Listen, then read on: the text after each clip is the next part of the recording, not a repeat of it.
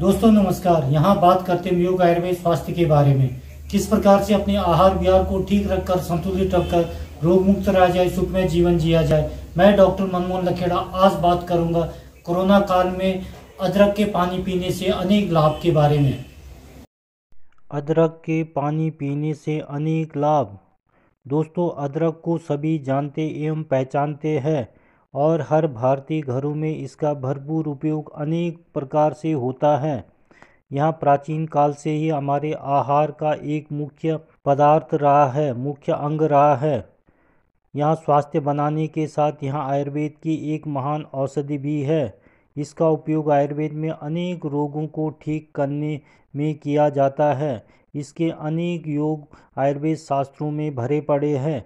आज हम बात कर रहे अदरक के पानी से होने वाले लाभ के बारे में। दोस्तों, जब भी आप सब्ज़ी खरीदने जाते हो तो साथ में अदरक भी ज़रूर खरीदते होंगे।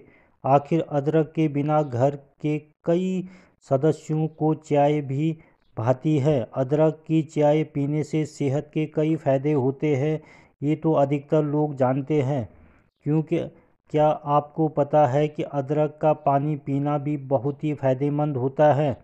और ये पानी कई सेहत की समस्याओं को दूर करने में सहायक होता है। तो जानते हैं अदरक के पानी के लाभ। अदरक का पानी पीने से अनेक लाभ। यह त्वचा के लिए बहुत फ़ायदेमंद होता है। अदरक का पानी पीने से खून साफ़ रहता है, जिसका असर त्वचा पर त्वचा पर बढ़ती चमक के रूप में दिखाई देता है। साथ ही ये पिंपल्स और स्किन इन्फेक्शन जैसी परेशानियों से भी बचाता है। अदरक प्रतिरोधक क्षमता बढ़ाता है। दोस्तों, अदरक का पानी पीने से शरीर की रोग प्रतिरोधक क्षमता बढ़ती है। साथ ही ये सर्दी, खांसी और वायरल इन्फेक्शन जैसी बीमारियों की आशंका को भी कम कर देता है। खाना पचाने में फ़ायदेमंद।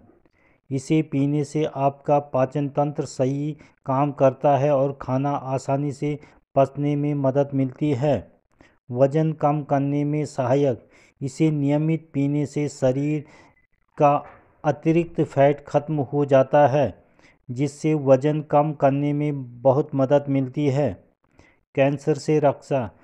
अदरक में ऐसे तत्व भी पाए जाते हैं जो कैंसर जैसी बीमारियों से लड़ने में असरदार होते हैं। इसलिए ये कैंसर होने की आशंका को भी कम करने में सहायक होते हैं। तो दोस्तों, आज के लिए बस इतना ही। देखते रहे लखेड़ा आयुर्वेद को। चैनल को लाइक, शेयर और सब्सक्राइब ज़रूर करिए और लेते रहिए योग आयुर्वेद स्वास्थ्य संबंधी नई नई जानकारियाँ। नमस्कार।